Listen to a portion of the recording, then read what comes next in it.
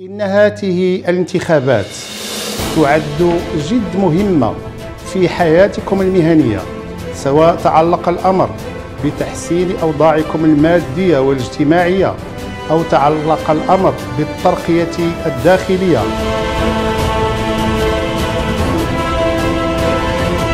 فقد انتزع من لدن الحكومة زيادات في الأجور ووحده الاتحاد المغربي للشغل قال لا لقانون التقاعد المشؤوم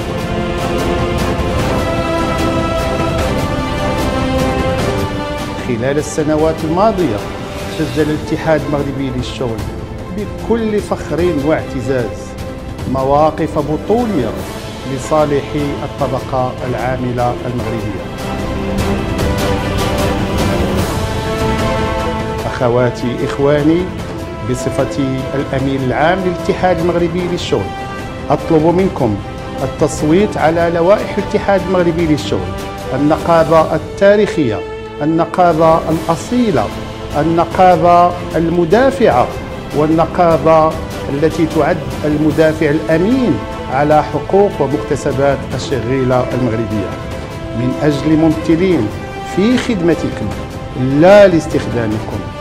عاشت الطبقة العاملة المغربية عاش الكفاح العمالي عاش الاتحاد المغربي للشغل وشكرا لكم